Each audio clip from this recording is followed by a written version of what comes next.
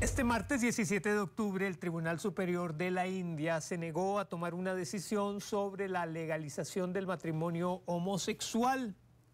es decir, la unión entre personas del mismo sexo, y dijo que es el Parlamento quien tiene que decidirlo, coincidiendo con el gobierno del primer ministro en que la legislatura es el foro adecuado para pronunciarse sobre esta polémica cuestión.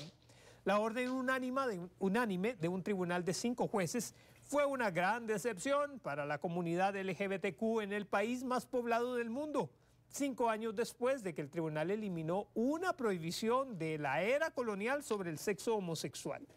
El gobierno se ha opuesto a peticiones presentadas sobre el tema diciendo que el matrimonio entre personas del mismo sexo no es comparable con el concepto de unidad familiar india de un marido, una esposa e hijos. La decisión judicial se produjo en respuesta a más de una docena de peticiones presentadas desde el año anterior.